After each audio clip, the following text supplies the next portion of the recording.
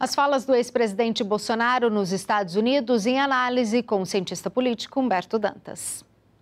Olá, olá amigos, olá Ana.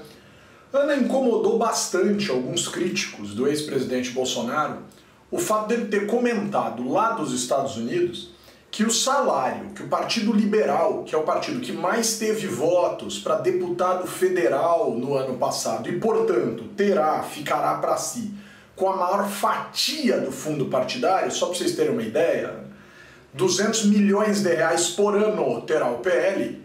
É o jogo, é a regra, teve mais voto, é o que está escrito.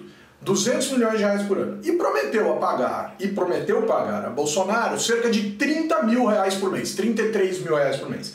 Lá dos Estados Unidos ele disse, ó, se for para converter, isso aí não dá para nada, isso aí não serve, isso aí é uma miséria, isso aí é uma porcaria, etc, etc, etc, etc. Convertendo, Ana, convertendo, dá cerca de 5.500 a 6 mil dólares, o que não é pouco.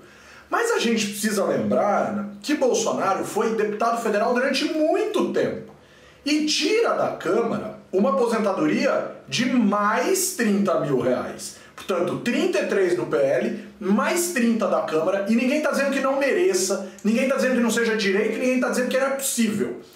E tem mais um 12 mil do Exército, porque ele é capitão da reserva.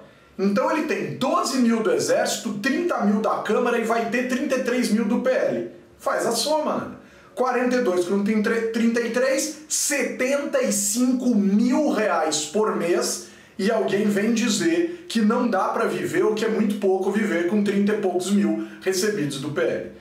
É, eu poderia aqui, Ana, longamente discorrer sobre os benefícios adicionais que todos os presidentes da República têm desde uma lei de 1986. Passa por passagem aérea, passa por hospedagem, passa por segurança, passa por carro com motorista, passa por é, assessor.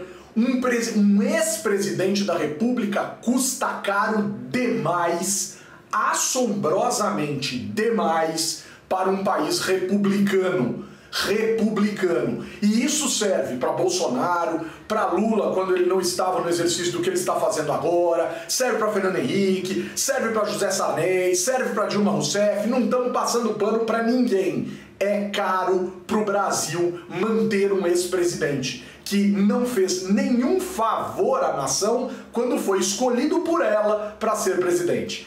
É isso que difere numa república de um país que tem cabeça de monarquia. Esses sujeitos não são reis. Agora, reclamar de 30 e poucos mil reais por mês é de chorar, hein, presidente? Quer dizer, ex-presidente. Avança democracia, avança.